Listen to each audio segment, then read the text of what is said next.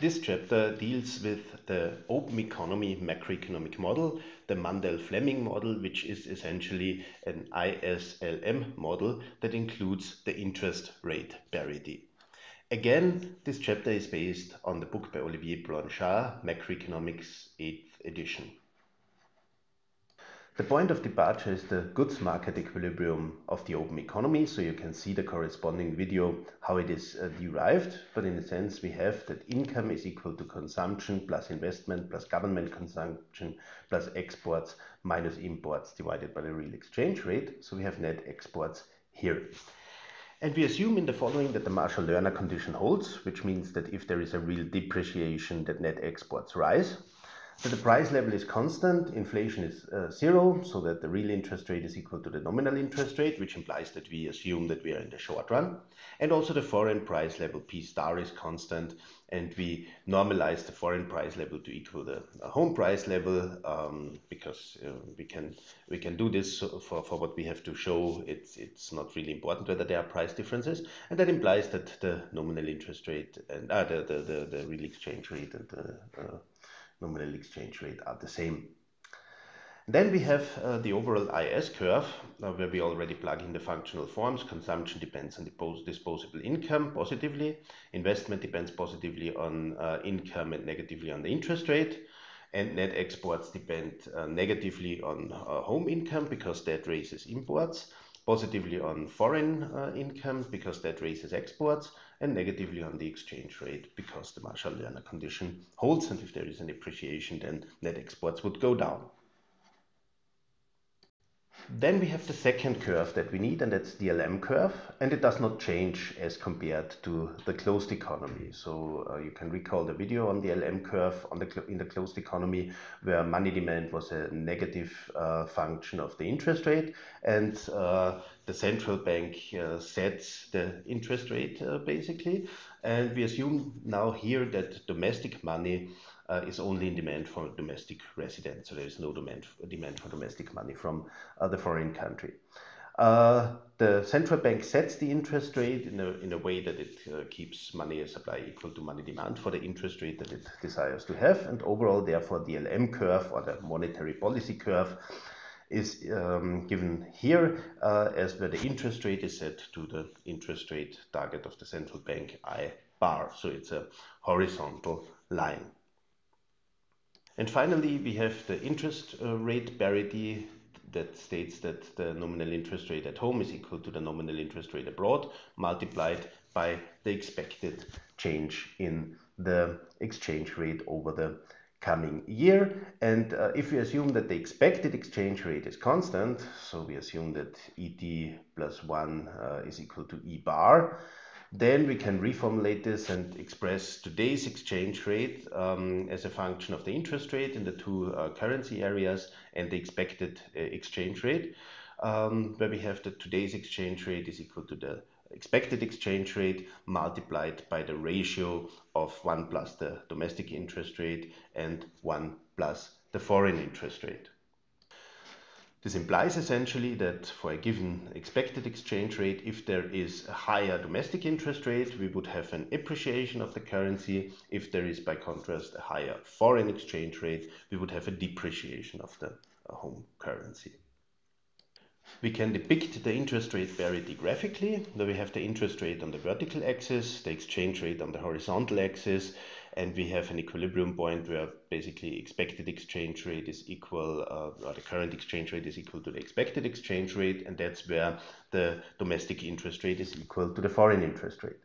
Now, whenever the domestic interest rate is higher than the foreign interest rate, the exchange rate today would be higher than the expected exchange rate in the future, and we would um, expect a depreciation of the home currency over the coming year. And whenever the um, interest rate is lower domestically than the foreign exchange uh, interest rate, then the today's exchange rate would be lower than the expected exchange rate, and we would expect an appreciation um, over time. Now we have all the three ingredients that we need for the Mundell-Fleming model. We have the IS curve for the open economy, we have the LM curve for the open economy, which is essentially the same as for the closed economy, and we have the interest rate parity. Now we show these uh, three um, curves in two diagrams where we plot um, output or income on the horizontal axis and the interest rate on the vertical axis in the left diagram, and in the right diagram the exchange rate on the horizontal axis and the interest rate on the vertical axis. So first we depict the IS curve here, which is a downward sloping line in uh, the space of the interest rate and income, which we see here because interest rate uh, comes in with a negative sign because it reduces um, uh, investment. So whenever the interest rate is high, uh, income would be low, and whenever the interest rate is low, income would be higher, ceteris paribus. So the IS curve is downward sloping here. Then we draw the LM curve, which is a horizontal line at the desired uh, interest rate that the central bank wants to set. So we have a horizontal LM curve at I0 bar. So that's just with a zero because it's the initial interest rate that the central bank wants to set. And later we look at monetary policies and we will have another, so uh, another interest rate, I1 perhaps, where the central bank changes the interest rate. And finally, we draw on the right-hand diagram the interest rate parity or IP curve, if you will, um, as we said before, so for this uh, interest rate I0 bar, we would have an expected exchange rate EE bar. Um, and yeah, whenever the uh, interest rate would be higher, then here the exchange rate would be higher than the expected exchange rate, and we would expect a depreciation over the, the uh, uh, next year. And whenever the interest rate is lower, we would have a, a lower exchange rate uh, than the expected exchange rate, and so we would expect an appreciation of the currency. Now, as compared to the closed economy, there are now two channels by which monetary policy can affect the economy. First of all, there is the effect that I've already mentioned before, that the interest rate has an impact on investment, and that changes, of course, the goods market equilibrium. But there is another effect, and that's that is that the interest rate has an impact on the exchange rate, and this has an impact on net exports. So the first one is the already familiar channel here. So if the interest rate increases, investment goes down, domestic demand goes down, and therefore domestic income goes down. And the second is that if the interest rate increases, then uh, the exchange rate would increase, and that would decrease net exports, and that in turn would lead to a decrease in income. And the second line, of course, in order to be operative, it requires the Marshall-Lerner condition. And the situation as we have it is depicted now on the next uh, slides, and I will walk you through them. So first, we start with the diagram that we all already had before. We have the IS curve, the LM curve, the goods market equilibrium uh, on, at a certain uh, income level. We have um, the interest rate parity, and we have the interest rate fixed uh, here at I0 and the exchange rate the expected exchange rate would be E bar. Uh, now the central bank raises the interest rate, so the LM curve shifts upwards to LM prime. The interest rate increases to I1 prime, and we have the standard effect, of course, that this increase reduces investment and therefore incomes uh, decrease. But there is also a second effect, and the second effect is that um, the higher interest rate now leads to an appreciation of the home currency, so the exchange rate is then higher than before. And this reduces net exports because the Marshall-Lerner condition holds, and both of these effects lead to a lower income level as compared to the initial situation. So in the end, we have a goods market equilibrium with a lower income level. Next, we look at the effects of expansionary fiscal policy. So in this case, governmental expenditures G increase, and this would increase uh, demand at home and increase uh, income, of course. So the IS curve would shift to the right. And uh, if the central bank keeps the interest rate constant, that would mean that uh, investment increases and consumption also increases. But net exports would decrease because there is an increase in home income, which raises ceteris paribus imports but does not have an effect on exports. So this is shown graphically here. We again have the diagram. On the left-hand side, the uh, intersection between the IS curve and the LM curve at the goods market equilibrium, and on the right-hand side, the interest rate parity. And now the government uh, pursues expansionary fiscal policy. So we have a new equilibrium uh, with an IS curve that is shifted to the right. And we have a higher uh, income level Y prime at that point. The central bank keeps the interest rate uh, constant. So that means there is uh, more uh, investment um, because there is more domestic income and that raises investment for a constant interest rate. But at the same time, we also see here that um, the interest rate uh, stays constant, so there is no effect on the exchange rate. But if there is no effect on the exchange rate and domestic incomes rise, that means that net exports decrease because imports rise while exports stay constant. And finally, we consider a policy mix where there is an expansionary fiscal policy and at the same time, the central bank wants to prevent the economy from overheating and does a contractionary policy, so it increases the interest rate.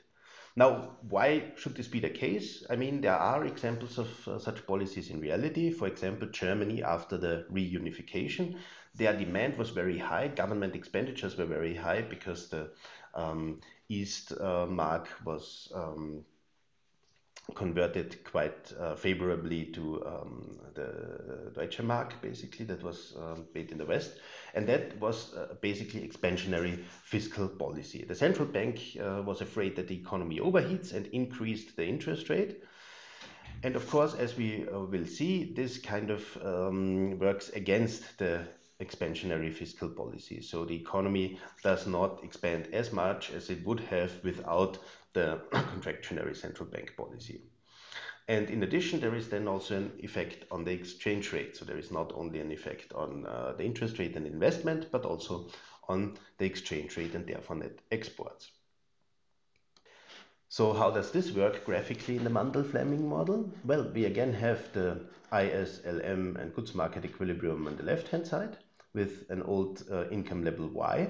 And on the right hand side, we have um, a diagram of the interest rate and the exchange rate here. And again, the uh, interest rate parity here, where for the given interest rate here, um, the exchange rate would be E and equal to the expected um, exchange rate. Now there is expansionary fiscal policy, so the government shifts the IS curve to the right, and if that was the only thing that happened, we would have a multiplier effect and so on, and incomes would rise to Y prime. However, now the central bank wants to prevent the economy from overheating, so it increases the interest rate. We shift from uh, I0 to a higher level of the interest rate, and the LM curve shifts from LM to LM prime. That means we have a higher interest rate and the uh, exchange rate therefore increases, which means that the home currency appreciates. That in turn, as I said before, leads to a decrease in investment, the first channel by which the interest rate operates, and at the same time a decrease in um, uh, uh, exports because the Marshall-Lerner condition holds and the exchange rate um, increased, so there was an appreciation. And both of these effects would reduce incomes again in the home country. So we would move here in this figure from y bar to y, uh, from y prime to y double prime. And that in turn implies that the central bank um, acted against this huge increase in incomes, so it um, kind of uh, prevented the economy from overheating too much uh, by increasing the interest rate.